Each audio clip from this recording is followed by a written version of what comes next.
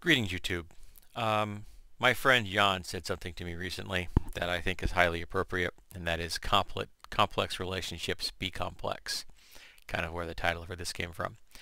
Um, at the beginning of the month of October, my father passed away.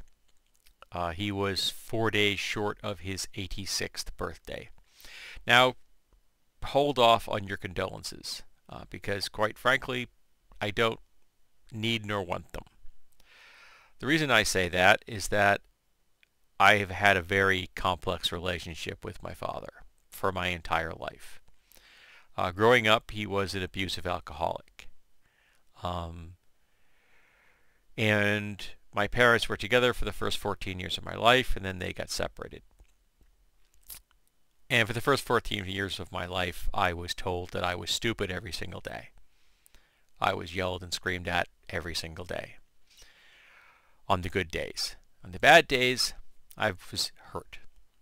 Uh, he was both, both he was good at both physical harm as well as psychological and emotional trauma. He excelled excelled at tormenting you mentally. Um, he wasn't a smart man, but he was clever, and he'd learned how to be manipulative because he was raised by an abusive alcoholic and my grandfather had been raised by an abusive al alcoholic and my great grandfather had you get the point uh, for the entire line of my family as far back as anyone can remember it's been a long line of abusive alcoholics. I am the first person in my family uh, on the male side to not be an abusive alcoholic. In fact I never became an alcoholic at all um, I did drink. I was really damn good at it. Uh, I started drinking at 14, um, and at 22, I came home from work one day and I looked in the fridge and I said, I know I really need a beer. And the day I said need and beer in the same sentence, I stopped drinking. And it's been 37 years. So yeah, I've been not drinking for longer than I had been drinking, which is a nice thing. Um, when my I was 29, my finally father finally got sober. Uh, basically because he had to have quadruple bypass surgery, which meant he had a scar that started here and ended at his right ankle. Just, they just opened him up like a fish to get the veins out of his legs so they could put them around his heart because uh, he had complete blockage. And the doctor said, you've got a choice. Uh, you can stop drinking or you can die. Interestingly, it was the same reason his father stopped drinking. He had a triple bypass, as did his wife, for that matter, because she was married to an abusive alcoholic. Because um, even after my grandfather uh, stopped drinking, he was still a miserable bastard. And I say that as someone who did love him when I was a kid, but he was a miserable bastard. He even went on antidepressants at one time, which changed him, made him not a miserable bastard, and he missed it. So he stopped taking his antidepressants so he could return to being a miserable bastard because that made him happier. Complex relationships be complex. Um, so my father got dry, which is great, and his second wife and he were together for 15, 38 years, no, 36 years, I think. Far longer than my parents had been married to each other and he helped raise two of the kids, the other ones that are left at that point. Um, he tried to be violent with the two boys at home. Uh, he hit the youngest one once, and the second oldest, the second youngest was the same age I am, looked him straight in the eye and said, if you ever touch my brother again, don't forget, I know where you sleep. And my father had just run out of people to hit he continued to drink until I was 29, but he ran out of people to hit, which probably frustrated him to no end. Um,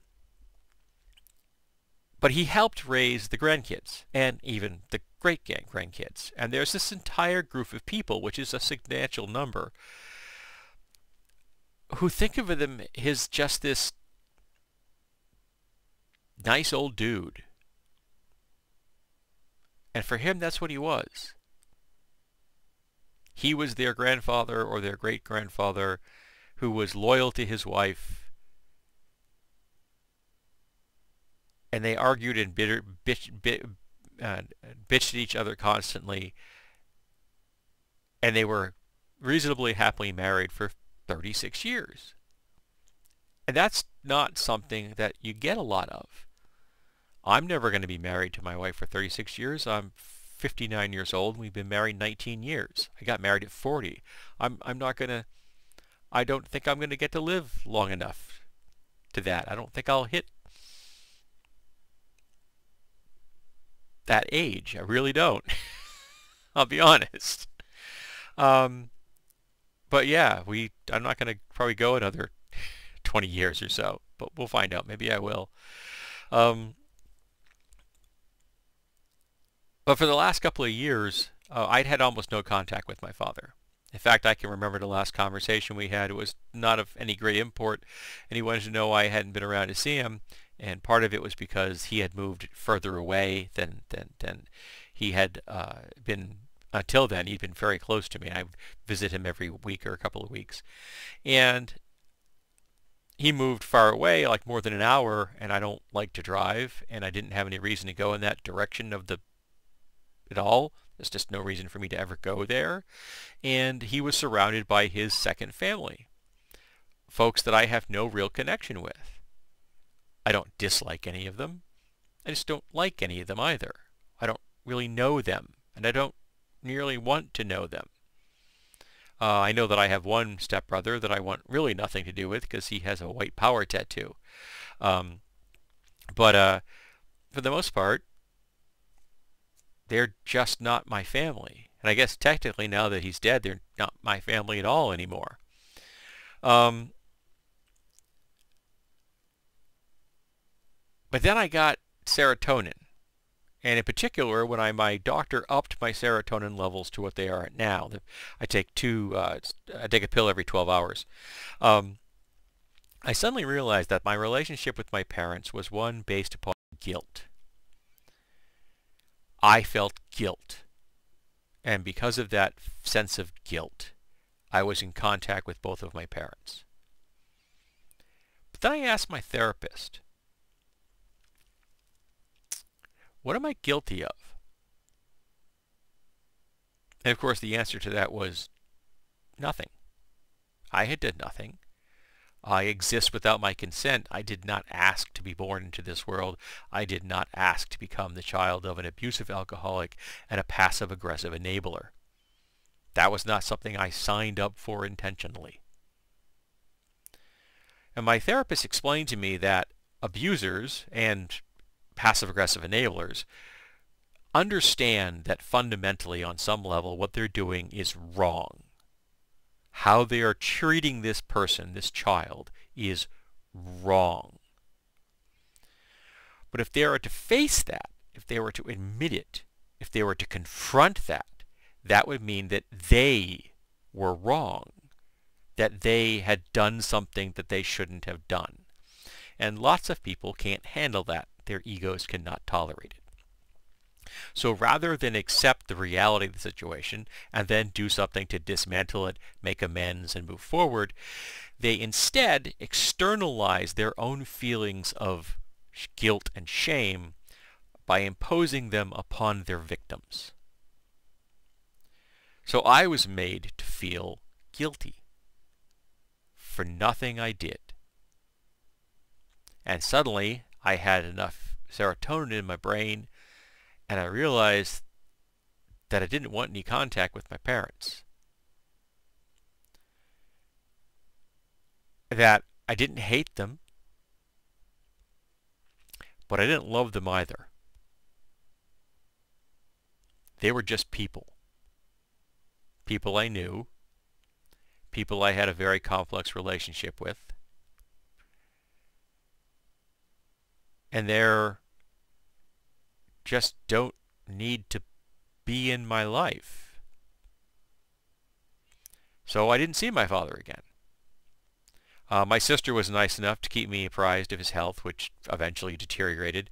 Um, he went into palliative care, and then near the la- and, and then near the end, they brought him home so he could be at home when he died, or his new home is a place that he'd lived in for less than two years. Uh, I really actually liked the house they had most the ones that were closer to me. He had two different places they, he lived. I liked both of them. Uh, I never saw the other one.